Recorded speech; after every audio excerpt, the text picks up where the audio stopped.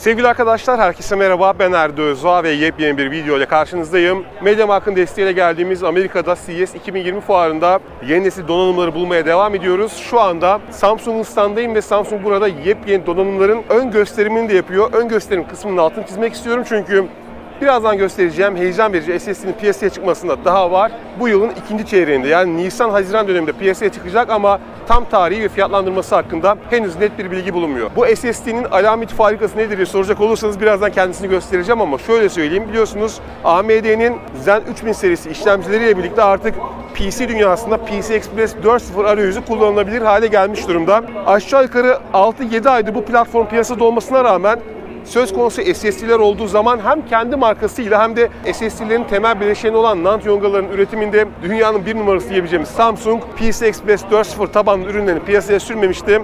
Ama nihayet bekleyiş sona eriyor çünkü bakın burada ne var? Samsung'un 980 Pro SSD çözümü var. Şöyle hatta şuradan yakından da bakabiliriz. CES 2020 kapsamında yenilikçilik ödülünü alan ürünlerden bir tanesi Samsung'un 980 Pro SSD'si. Tabii ki en dikkat çekici yenilik olarak PCI Express 4.0 desteğinden bahsedebilirim. Bu destek sayesinde 980 Pro serisinde sıralı okuma ve sıralı yazma hızları okuma için 6500 MB saniyeyi, yazma için ise 5000 MB saniyeyi bulabiliyor. Peki Samsung bunu nasıl başardı? Diğer pek çok SSD üreticisinden farklı olarak Samsung temel bileşenleri kendi geliştirmeyi ve kendi kullanmayı seven markalardan bir tanesi. Dolayısıyla burada çok fazla ısrar etmeme rağmen kullanılan kontrolcünün detayları hakkında bilgi vermediler ama tamamıyla yeni yine Samsung tarafından sıfırdan geliştirilen bir kontrolcü mimarisine sahip olduğunu söylediler. Zaten PCI Express 4.0 için yeni nesil bir kontrolcüye ihtiyaç olduğu açık. Dolayısıyla Samsung'un yeni bir çözüm var ama daha temel noktada detaylarını öğrenebilmek, örneğin frekansını ya da baz aldığı ARM mimarisinin yeteneklerini anlayabilmek için biraz daha beklemek gerekecek. Aynı zamanda kullanılan 3 boyutlu VNAND yongalarına bakıldığı zaman artık katman sayısının artırıldığını görmekteyiz.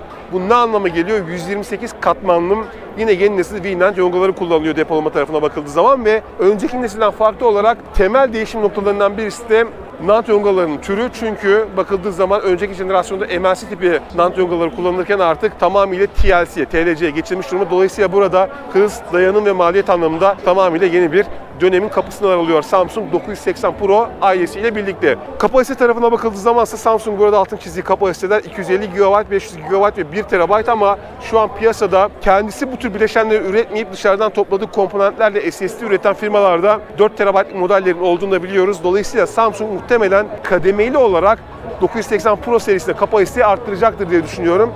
Tabii benim merak ettiğim başka detaylar da var çünkü PCI Express 4.0 ile birlikte sıralı okuma ve yazma hızında ciddi bir artış olduğu için SSD'lerin termal karakteristiği güç tüketim durumları önem taşıyor ve benim burada elde ettiğim bilgilere göre 980 Pro serisinde sıralı okuma ve sıralı yazma hızları esnasında güç tüketim seviyesi 6 ila 8 Watt arasında dolaşıyor sevgili arkadaşlar. Muhtemelen 6 ila aslında 7.5 Watt civarında olduğunu söyleyebilirim. Zaten lansman dönemine yaklaştığımızda teknik seviyede daha fazla bilgiyim elde edeceğiz diye düşünüyorum. Samsung'un bu alana girmesi önemli çünkü Samsung'un PCI Express 4.0 tabanlı SSD'ler üretmesiyle birlikte hem maliyet hem bulunabilirlik daha da önemlisi teknolojinin yaygınlaşabilmesi adına ciddi bir hız elde edeceğiz diye düşünüyorum. AMD platformu zaten bu desteğe sahip.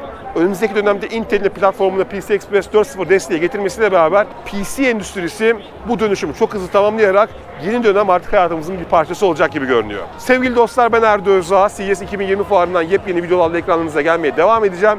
Şimdi hoşça kalın ve kendinize çok iyi bakın.